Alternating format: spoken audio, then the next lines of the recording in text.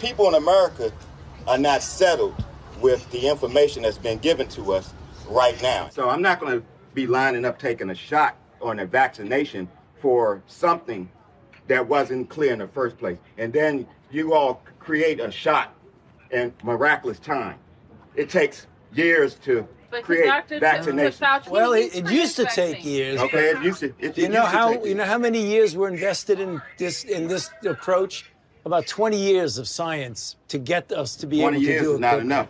And nine months is definitely not No. enough for nobody to be taking no vaccination that you all came up with. The only reason I'm talking to you right now, as close as we are, is that I've been vaccinated. Right. But if it allow thousands of people like you don't get vaccinated, you're going to let this virus continue to percolate in this country and in this world. Something like the common flu, then, right?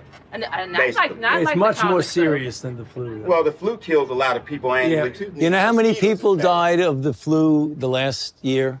I mean, not this year, virtually none, but the previous year, about 20 to 30,000. You know how many people have died from COVID-19 in the United States? 600,000 Americans. Well, you well that well the, the number that you all giving that died. That's that's once again that's you all's number. You gonna pass? Yeah, definitely. Because All when, right. when you start talking about paying people to get vaccinated, when you start talking about incentivizing things to get people vaccinated, it's something else going on with that.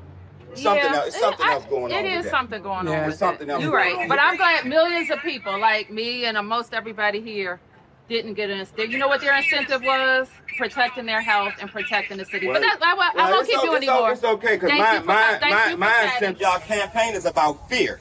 It's about inciting fear in people. You all attack people with fear. That's what this pandemic is. It's a fear. It's fear. This pandemic. That's all it is.